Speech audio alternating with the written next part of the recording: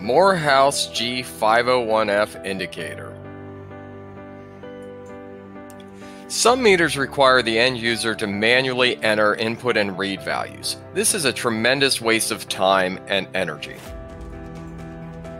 When a person has to enter multiple numbers to use the meter, there is room for error. Just entering one number wrong could increase the error by a large magnitude that the technician might not easily catch. This can lead to costly rework. Other indicators use a span calibration that is 2 point or 5 point.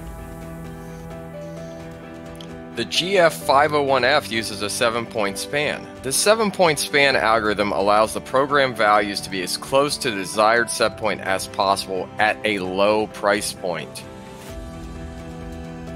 Paired with a single load cell, this portable unit is the answer for laboratories that do not need the performance of a higher end indicator. The portable unit can operate on AA batteries, rechargeable batteries, or the AC adapter.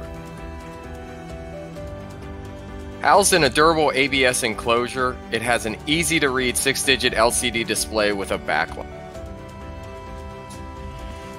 The GF501 indicator is available by contacting Morehouse by phone 717 843 0081 by email info at mhforce.com or on the web at www.mhforce.com.